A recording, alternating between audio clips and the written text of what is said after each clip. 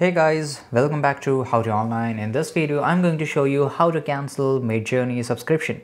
So if I just go to the Google Chrome here and if I want to use a Midjourney, so basically I can do it over my Discord, right? Here you can see that I can use it for freely.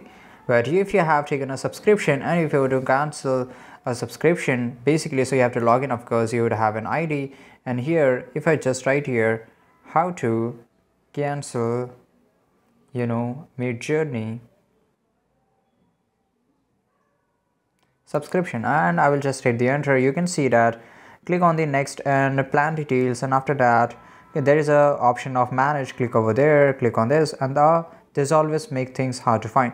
So basically and after that in the mobile view you will able to cancel it right? So you have to just go to your subscription and here you can see that this is the subscription. If you just click on the manage subscription here you can see that click on the manage and after that you will able to cancel that subscription. So this is it guys and if you found this video really interesting make sure to like this video subscribe our channel and see you guys in the next video